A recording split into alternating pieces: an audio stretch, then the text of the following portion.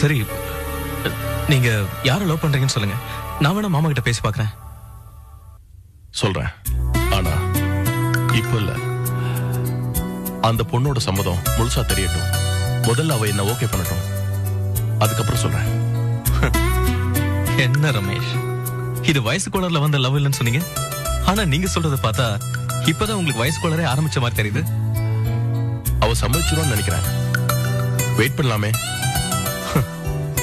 முடிவே தெரியாத ஒரு சஸ்பென்ஸ் லவ்க்கு ஒரு நல்ல இடத்த வேஸ்ட் பண்ணுமா? ஒருவேளை நீங்க சொல்ற பொண்ணே உங்களை ஒத்துக்கலனா? ஒத்துக்குவா. கிட்டத்தட்ட ஒத்துக்கிட்ட மாதிரி தான் கொஞ்சம் வெயிட் பண்ணும். ப்ளீஸ் அவ ஒத்துக்கிட்டு ஒருவேளை அவ வீட்லயும் நம்ம வீட்லயும் ஒத்துக்கலனா என்ன பண்றது? அவ மட்டும் முதல்ல ஒத்துக்கட்டும். மத்த எல்லாரையும் நான் ஒத்துக்க வைப்பேன்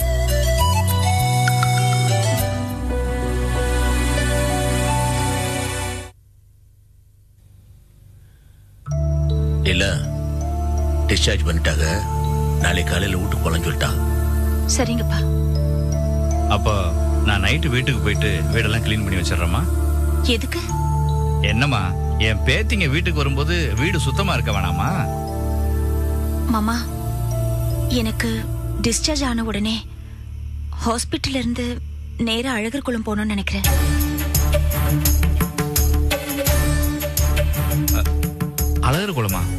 என்னம்மா சொல்ற? டிஸ்சார்ஜ் ஆனதும் நேரா நம்ம வீட்டுக்கு தானே போகணும் அங்க எதுக்கு போகணும் இல்ல மாமா. எங்க ஊருக்கு போகணும்னு எனக்கு ஆசையா இருக்கு. லீலா நான் கூட இதை எதிர்பார்க்கல. இல்லப்பா. என் ரெண்டு குழந்தைங்களும் ஹாஸ்பிட்டல்ல இருந்து நேரா அழகர் குளம் தான் போகணும் அந்த வீட்ல நான் கொஞ்ச நாள் இருக்கணும். அங்க வீசுற காத்து என் குழந்தைங்க முகத்துல படணும். இதான்ப்பா என்னோட ஆசை. லீலா நீ சொல்றது எனக்கு புரியுதுமா? ஆனா இங்க இருந்தாதான் ஏதாவது ஒண்ணுன்னா அவசரத்துக்கு ஆஸ்பத்திரிக்கு வர்றதுக்கும் டாக்டர்கிட்ட காட்டுறதுக்கும் வசதியா இருக்கும். மாமா இங்க எல்லா விவரத்தையும் கேட்டு தெரிஞ்சுக்கிட்டு அழகர் குளம் போயிட்டா அங்க பக்கத்துல இருக்கிற டவுன் டாக்டர் கிட்ட கொண்டு போய் காமிச்சுக்கலாம்.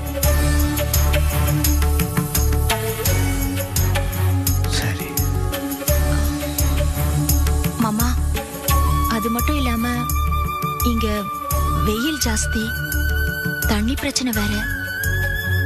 வீட்டுல பொம்பளைன்னு பார்த்தா நான் ஒருத்தி மட்டும்தான். ரெண்டு குழந்தைங்களும் வச்சு சமாளிக்கிறது ரொம்ப கஷ்டம் அம்மா இதே எங்க ஊர் போயாச்சுன்னா வெயில் அவ்வளவு கிடையாது. தண்ணி பிரச்சனை வேற இல்ல. எங்க ஊர்ல என் குழந்தைங்க வளர்ந்தா ஆரோக்கியமா இருக்கும் மாமா. லீலா அதெல்லாம் சரி. நான் தான் இப்ப மெட்ராஸ் வந்துட்டேல நீ இங்கே இருந்தேனா நான் குடும்பம் இருந்து பார்க்க மாட்டேனா? இல்லக்கா. நம்ம வீட்டுக்கு போகணும்னு நான் முடிவு பண்ணிட்டேன். நீ எதையாவது சொல்லி தடுத்து நிறுத்துறாத. ப்ளீஸ்க்கா தனு லீலா விருப்பப்படியே அது அழகர் குளத்துக்கே வரட்டும். அங்கேயே கொஞ்ச நாள் இருக்கட்டும். அப்பா. ஆமாப்பா. நீ எதுக்கா சொல்லேன்னு எனக்கு புரியுது. ஆமாங்க. இதுக்கு ரெண்டு கிராமத்துக்கு வந்து கிராமத்து காத்து வெயில் எல்லாம் மேல பட்டு அதுகளுக்கு உடம்புக்கு நல்லது. ஆமாப்பா அதைத்தான் நானும் சொல்றேன். சரிம்மா. உன் முடிவுபடியே போயிருவோம். தானே நான் போய் மருந்தெல்லாம் வாங்கிட்டு வந்துடுறேன்.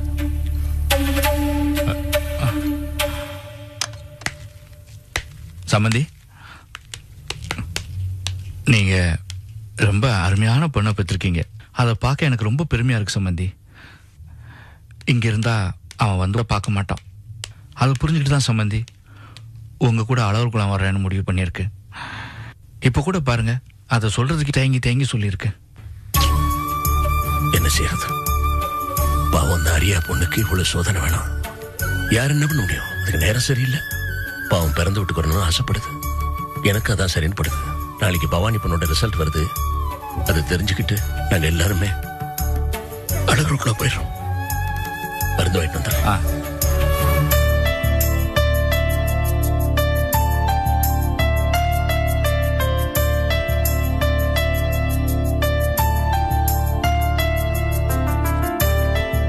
மாப்பிள காலையில் வந்து பத்து நாளைக்கு ஆர்டர் பண்ணி சொன்னால செல்வகுமார். ஆமா போசன கார்மெண்ட்ஸ்க்கு அனுப்பிச்சேனே ம் அவன் ஃபோன் பண்ணியிருந்தான். என்ன? அவன் ஏற்கனவே நம்மளுக்கு ஆர்டர் கொடுத்துருக்கான்ல. இதோட நிப்பாட்டிக்கிங்க. இனிமேல் எதுவும் கட்டிங் பண்ண வேண்டாம். மீதி இருக்க நாளை காலைல வந்து எடுத்துக்கிறேன் இருக்கான். ஏன்? நம்ம அவங்க ஆர்டர் எல்லாம் கரெக்டா தானே பண்ணிட்டு இருக்கோம். எதுவும் குறை வச்சிருக்கோமா? அதான் என்னன்னு தெரியல மாப்ள இதோட போதும் உங்களுக்கு காலைல வந்து கணக்கு செட்டில் பண்றேன்ட்டான். என்னடா இது? இந்த வேலை இருக்குன்னு தான் புதுசா வர வேலையை கூட வேணாம்னு சொல்லிட்டோம் இப்போ இந்த வேலையை கேன்சல் பண்ண என்னடா அர்த்தம்? நம்ம கிட்ட ஏகப்பட்ட வேலை இருக்கிறதுனால தான் வந்து அற போசன கார்மெண்ட்ஸ்க்கு அனுப்பிச்சு வச்சோம்.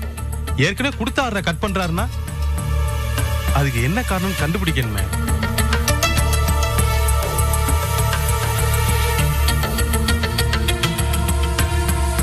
டேய் சிவராமா என்னெல்லாம் நடக்குது பாத்தியா? என்ன நடக்குது? டேய் காலையில அவன் ஆர்டரை பத்தி பேச வந்தான். இவனும் அவனை போஸ் கிட்ட அனுப்பணும்? அதுக்குள்ளேயே அவன் ஆர்டரை கேன்சல் பண்ண சொல்றானா நடுவுல இந்த பிசினஸ் மேக்னட் போஸ் ஏதோ கோல்மால் பண்ணி நம்ம பிசினஸ் கெடுக்கிறதா தானே அர்த்தம்? ரொம்ப ரொம்ப ரொம்ப ரொம்ப ரொம்ப ரொம்ப தப்பா சொல்ற மாப்ள அந்த மாதிரி எண்ணமெல்லாம் நம்மளே மாதிரி ஆளுகளுக்கு தான் வரும். போஸ் ரொம்ப நல்ல மனசுக்காரன். அதனால தான் ரொம்ப நல்லா இருக்கான். நாம இன்னும் இப்படியே இருக்கோம். போய் பொண்டாட்டி சமைச்சு போற வழியை பாரு. போ. இவங்கிட்ட போய் சொன்ன பாரு.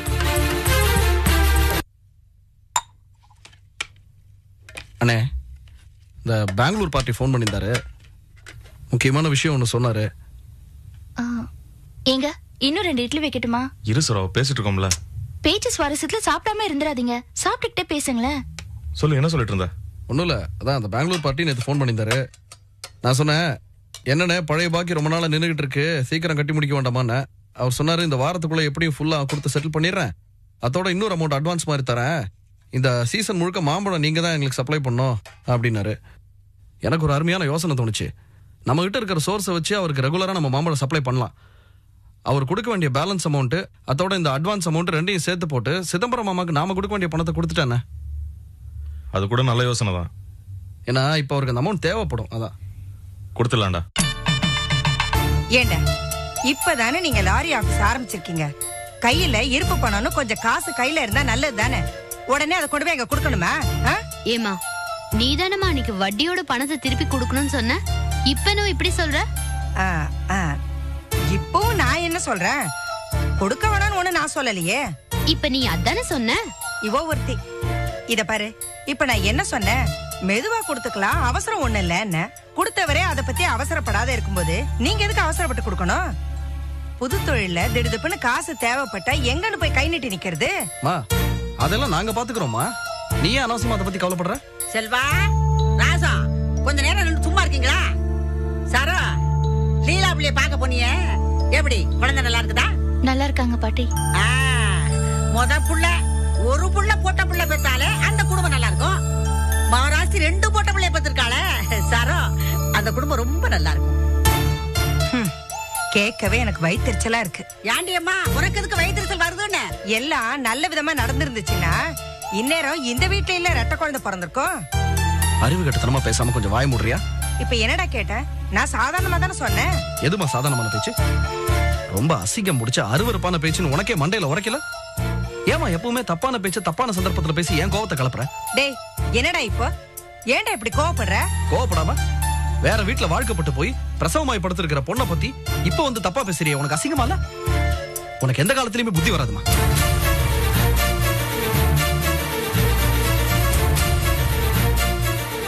மாணிக்கம் நான் எதார்த்தமா ஒரு பேச்சுக்கு தானே சொன்னேன். இவ என்கிட்ட கோச்சிட்டு போறா? பெத்தவங்கிற மரியாதை கொஞ்சம் கூட இல்லடா. அவனுக்கு கோவம் வரதுல ஒன்றும் தப்பு இல்லம்மா இப்போ இந்த பேச்சு ரொம்ப அவசியமா? கோவம் வரதானே செய்யும். நீங்க பேசுறது தான் அனாவசியமான பேச்சு.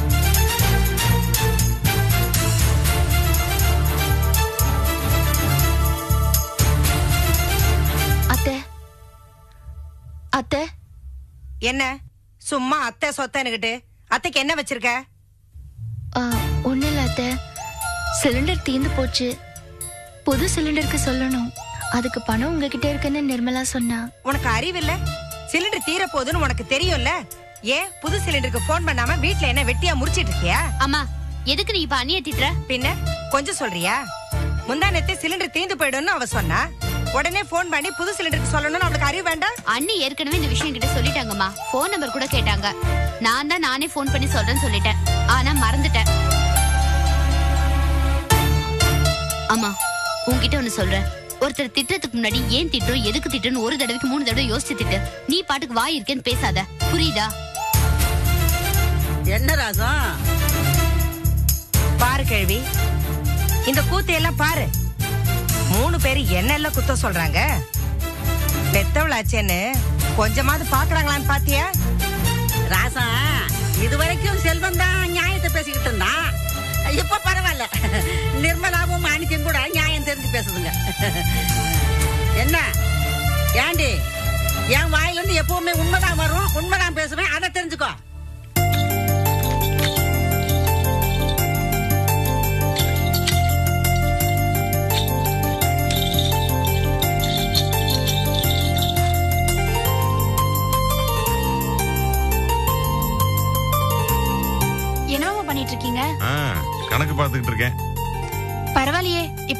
வழக்குல ரொம்ப தேறிட்டீங்க போல இருக்கு. என்ன பண்றது? குளத்துக்குள்ள தவறி விழுந்ததுக்கு அப்புறம் நீச்சல் கத்துக்குவாங்கல்ல? அந்த கதை தான் நம்ம கதை. ஆமா. ஏன் கிளம்பிட்ட மாதிரி தெரியுது? ஆமா மாமா. ரிசல்ட் பாத்துட்டு வரதா ரிசல்ட் சாயந்தரம் தானே வரும்? இல்ல மாமா. இப்ப இன்டர்நெட்ல வந்திருக்கோம். பிரவுசிங் சென்டர்ல போய் பார்த்தா தெரிஞ்சிடும் ப்ரௌசிங் சென்டரா. என்னமோ சரிதான். ஆமா. பக்கத்துல இருக்கா தூரத்துல இருக்கா? இல்ல இங்க பக்கத்துல இருக்கு. நான் போயிட்டு வந்துடுறேன். நீங்க உங்க கணக்கு வழக்கெல்லாம் பாருங்க. நாங்க கூட வரட்டுமா? இல்ல மாமா நான் போயிட்டு வந்துடுறேன். சரி வரேன் மாமா. இல்ல இல்ல இரு இரு.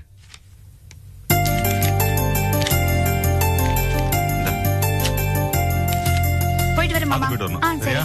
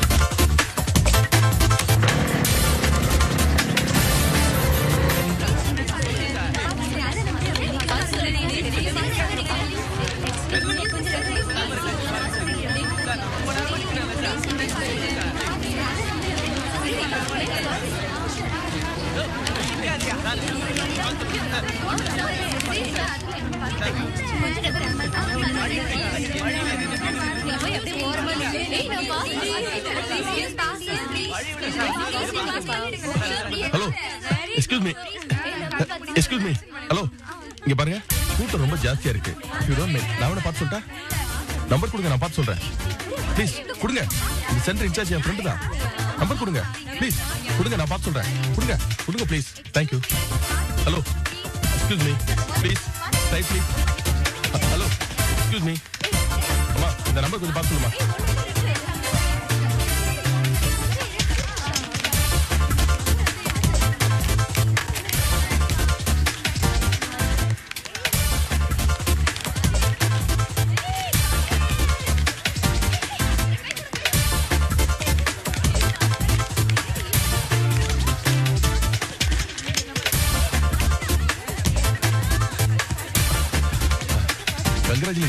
நீங்க பாஸ் பண்ணிட்டீங்க. வாழ்த்துக்கள்.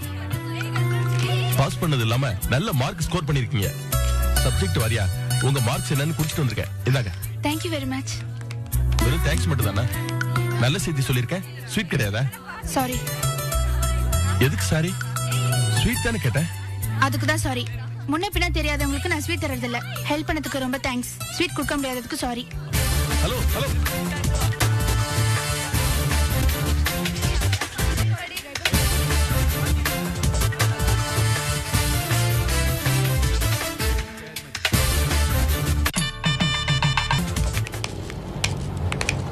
பாத்துமா? குழந்தை பத்திரம். மெதுவா. மெதுவா மெதுவா. வா வா அவசரம் இல்லை மெதுவா. குழந்தை தூங்கிருச்சா?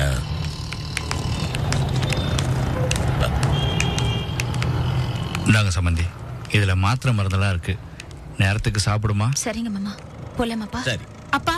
ஏய் ரிசல்ட் என்னாச்சு? பாஸ் பண்ணிட்டேன்ப்பா. இந்தாங்க ஸ்வீட் மருமது வாங்கிட்டு வந்துட்டியா? ஆமா புள்ள பரிச்சையில பின்னி எடுத்துருச்சு. பவானி மாமா. நீ இந்த மாதிரி ஒவ்வொரு வருஷமும் பாஸ் ஆகி ரொம்ப பெரிய ஆளா வரணுமா சரி மாமா. அப்பா ஸ்கூலுக்கு போய் மார்க் ஷீட்டும் டிசியும் வாங்கணும்ப்பா. எல்லாம் செய்திருவோம். அழகரக்குள்ள தானே போறோம்? எல்லாம் வாங்கி தரேன். வா. பவானி நம்ம குடும்பத்துக்கே பெருமை தேடி தர்ற மாதிரி நீ நல்லா படிச்சு பெரிய ஆளா வரணும். சரிக்கா. என்ன? அஹ், மாமா நானும் லீலா கூட அழகர் குளம் போயிட்டு அவளுக்கு ஒத்தாசி இருந்துட்டு வந்துடுறேன் சரிம்மா. மாமா என்னம்மா? நீங்களே எங்க கூடவே வந்துருங்களேன். நான் எதுக்குமா? நீங்க எல்லாரும் போங்க. நான் உன்னை முறையா கூப்பிடுறதுக்கு இங்க வேண்டிய ஏற்பாடுலாம் நான் பண்றேன் அதெல்லாம் இருக்கட்டும் மாமா. நீங்களும் எங்க கூட வந்தீங்கன்னா சந்தோஷமா இருக்கும். எதுக்குமா? நீங்க எல்லாரும் கிளம்புங்க. சம்பந்தி அப்படி சொல்லாதீங்க. உங்களுக்கு ஒரு மாறுதலா இருக்கு. வாங்க. வாங்க நான் சொல்றேன். வாங்க பாருங்க. வாங்கப்பா போலாம். நல்லா இருக்கு. வாங்க. சேர்ந்து போ. வாங்க. வாங்க முன்னாடி போயிருங்க போங்க.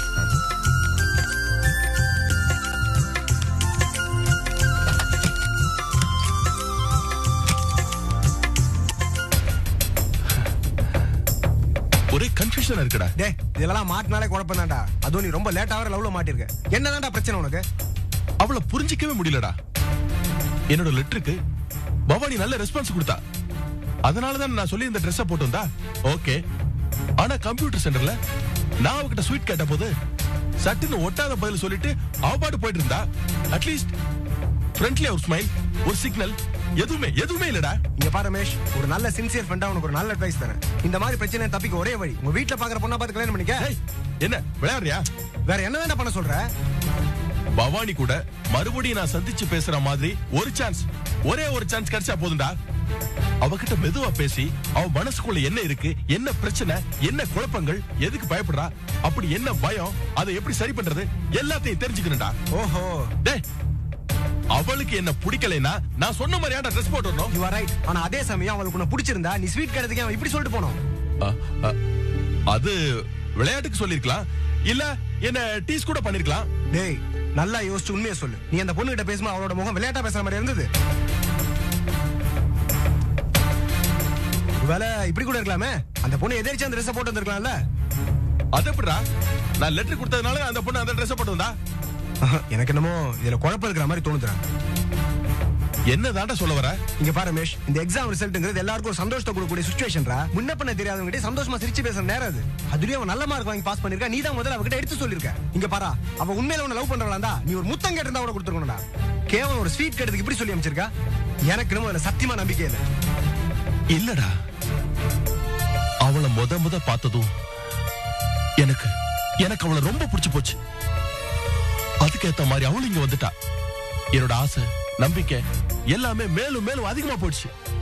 என்னால ஒன்ன மாதிரி நெகட்டிவா திங்க் பண்ண முடியல. அதெல்லாம் சரிடா. ஆனா அந்த குடும்பத்துல உள்ள சகலைங்க அத்தனை பேர் உன்னை போட்டு அடிச்சிருக்காங்கடா. இந்த சுச்சுவேஷன் அந்த குடும்பம் உன்னை எப்படி ஏத்துக்கும் என்னடா நீ? என்ன டிஸ்கரேஜ் பண்ணதா இங்க வந்திருக்கியா? நான் பேசுறதா தப்பு இருக்காடா? டேய் லாஜிக் எல்லாம் கிடக்கட்டும்டா. இப்ப நான் சொல்றதாண்டா உண்மை. அவளை நான் சின்சியரா லவ் பண்றேன். என் காதல் ரொம்ப ரொம்ப சத்தியமானதுடா. அவளுக்காக நான் டோட்டலா மாறிட்டேன்டா. இப்ப நான் வேற ரமேஷ். இந்த ரமேஷ்க்கு அவ கிடைப்பா. இந்த ரமேஷ்க்கு பவானி நிச்சயமா பொண்டாட்டியா வருவா.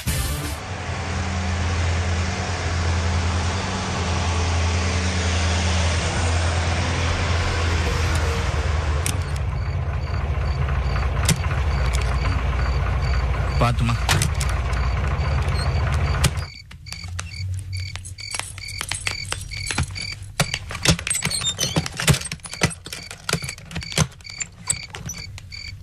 லீலா கொஞ்சம் இருமா ஒரு நிமிஷம் இருமா தானே திருஷ்டி ஏதாவது பட்டிருக்கு ரெட்டை குழந்தை வரியா குழந்தை இல்லாத கண்ணதா பட்டிருக்கு உள்ள போய் ஆர்த்தி எடுத்துட்டு வா சரிப்பா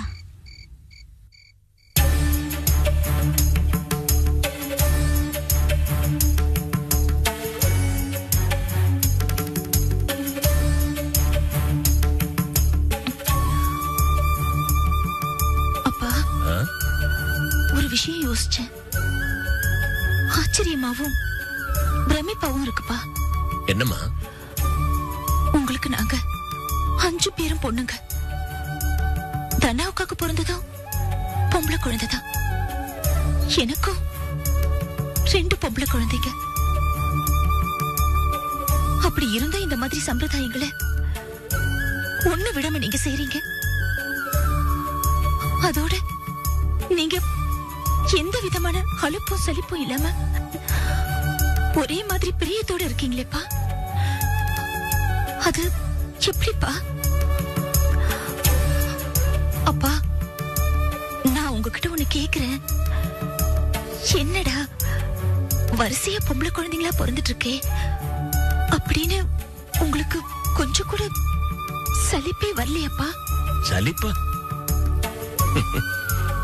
எனக்கு பெண் குழந்தைகளை பார்த்தா சலிப்பு வரல பிரமிப்பு வருது.